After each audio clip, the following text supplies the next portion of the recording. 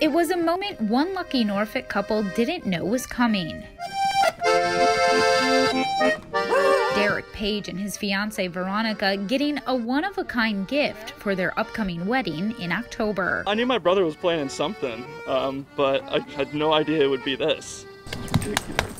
Derek's brother Alex planning the surprise after coming across this Facebook post. Instead of getting something off their registry, something that's replaceable, I just thought it'd be a fun, unique, different sort of gift that, you know, create a lasting memory. The man behind the squeeze box, Miles Hoyle, an accordionist for 13 years, playing songs for special occasions, one note and one doorstep at a time.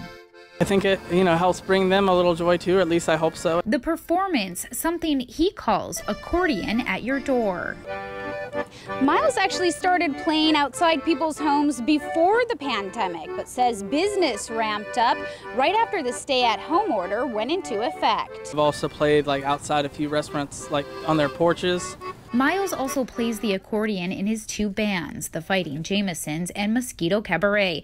But as the COVID crisis put most live entertainment on pause, his solo performances picked up traction. I think it's a win win for everybody.